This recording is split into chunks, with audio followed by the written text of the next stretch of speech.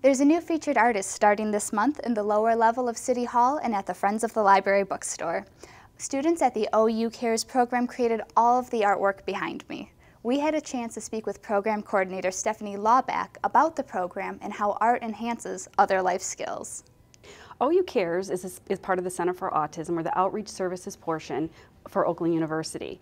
And we provide programs and services for individuals three years of age all the way through adulthood who have autism. The individuals who um, created all these pieces of art are in our pre-employment skills training program and they're all over the age of 18 and they all have autism. For the students at the Center for Autism, art has been a wonderful developmental tool, teaching skills that can be used in the workplace.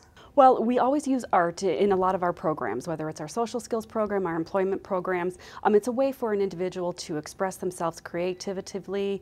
Um, it's a way to, you know, like with this piece, the individuals had to work collaboratively together in order to create a cohesive piece of art. So they learned um, social skills, they learned, you know, communication with each other, they learned how to um, basically collaborate and interact and work as a team um, in order to create this large piece of art.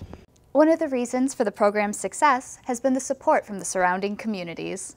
Oh, it's wonderful to have that community involvement because, you know, it, it we work a lot with the community surrounding um, our Oakland University and with a lot of different businesses and municipalities. So it's wonderful to provide that awareness to, to let people know in the community what an individual with autism is able to do. You know, the strengths that they have, um, the challenges that they've overcome, you know, their ability to become productive members of society. So it's wonderful to be able to, to share with different communities what exactly they're able to do.